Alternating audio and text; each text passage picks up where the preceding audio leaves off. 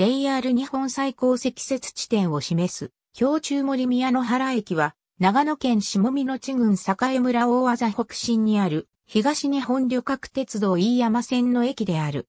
長野県最北端に位置する駅であり、新潟県境に近接している。2010年4月1日付の死者管轄割当て、見直しで長野支社の管轄エリアも当駅までとなり、当駅伊東は新潟支社の管轄となる。当駅は長野県と新潟県の県境付近に位置しており、長野県側の境村北進の障子、森と新潟県側の津南町上里の障子、宮野源を合成した駅名である。ホーム島式ホーム一面二線及び、側線、貨物ホーム一面一線を有する地上駅。駅舎は、ホームの南側にあり、構内踏切でつながっている。タブレット閉塞が行われた頃は、終日社員が配置されていたが、飯山線の CTC 化と同時に簡易宅駅となった。駅の管理は飯山駅が行っている。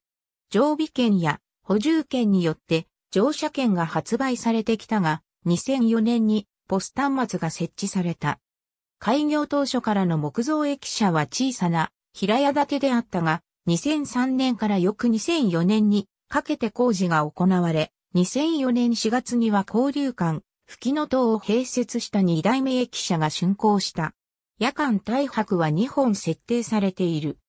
当駅では1945年2月12日に7.85メートルの積雪を記録し、それを示すメジャーが横倉方面のトンネル寄りのホーム端に建てられていたが、1990年1月、構内に新たに JR 日本最高積雪地点を示す標柱が設置された。JR 東日本によると、2020年度の1日平均乗車人員は27人である。近年の推移は以下の通りである。津南町内、周辺のバス路線図。当駅周辺からは青色、水色の路線を利用できる。注釈出店。ありがとうございます。